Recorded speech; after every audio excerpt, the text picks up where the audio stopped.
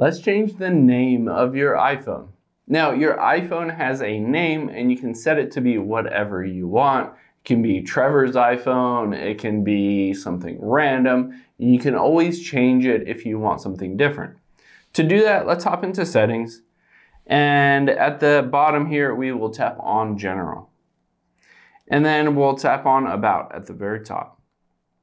Now you can see at the very top is name and I can tap on that and it's currently set to Trevor's iPhone.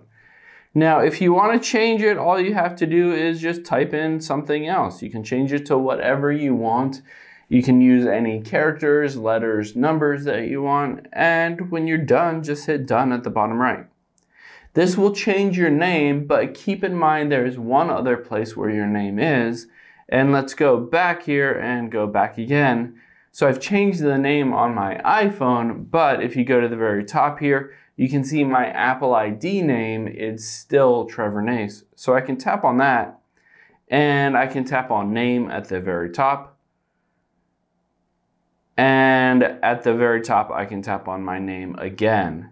And here I can change my name of my Apple ID. So there's both the name of your iPhone and the name in your Apple ID that's associated with you. So you can change both of those. Both of those are used different places within the iPhone.